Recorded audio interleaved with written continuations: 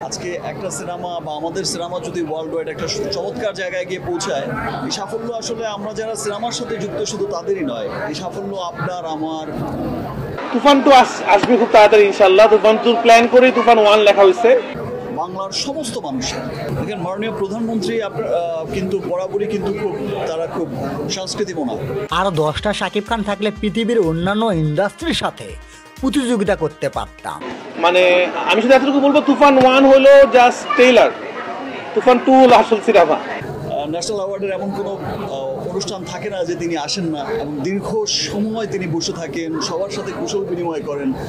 দশে মাননীয় প্রধানমন্ত্রী কিন্তু সবসময় দেখা গেছে যে শিল্পীদের এত আপন করে নেয়। সমস্ত শিল্পীদের এত স্নেহ করে, এত ভালোবাসা দেয়। মাননীয় প্রধানমন্ত্রীর কাছে আসলে অনেক কৃতজ্ঞ। তার দেশের সিনেমা এগিয়ে যাচ্ছে। এটা আসলে মাননীয় প্রধানমন্ত্রী যখন